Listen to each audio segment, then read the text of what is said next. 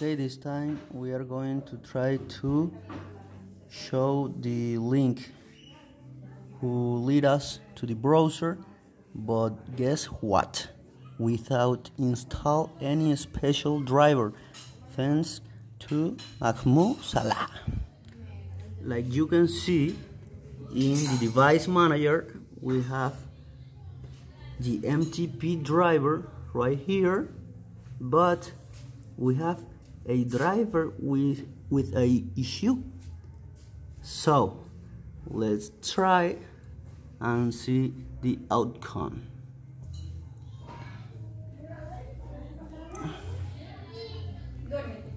Okay.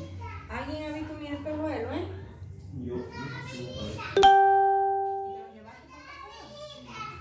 let's click and see what happens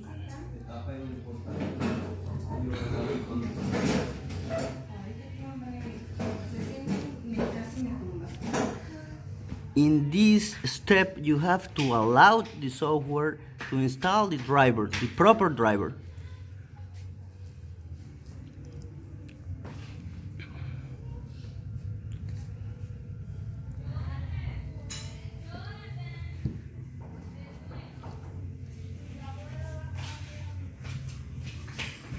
wait wait.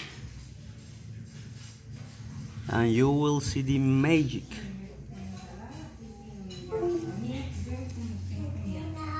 Magic.